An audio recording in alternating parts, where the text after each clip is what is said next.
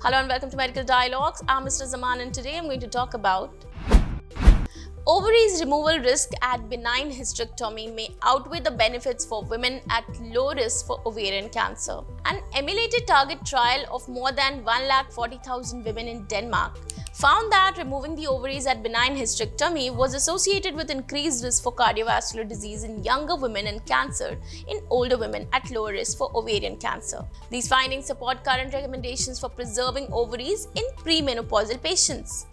Removal of the ovaries decreases the risk for ovarian cancer and greatly benefits the survival of women at high risk for ovarian cancer. However, not enough is known about how removal of the ovaries affects other possible outcomes such as heart attack, stroke, other types of cancer, and how long patients live. Researchers from the Danish Cancer Society Research Center Copenhagen, Denmark, studied health records for 1,42,985 women who underwent a benign hysterectomy with or without bilateral salpingo-oophorectomy to compare long-term outcomes. The researchers found that women who had their ovaries removed had a lower risk of ovarian cancer, but other health outcomes varied by age or menopause status.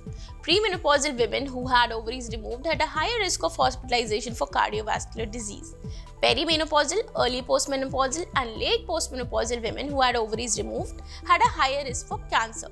The authors noted that women who had their ovaries removed at perimenopausal ages had more deaths when measured at 10 and 20 years after surgery, but women aged 65 years or older had fewer deaths when measured at 20 years after surgery. According to the authors, these results suggest a cautious approach to removing ovaries in women at low risk for ovarian cancer. That's all for today. Stay tuned to Medical Dialogues for latest updates. Never miss a medical update from Medical Dialogues. Like, subscribe, and press the bell icon.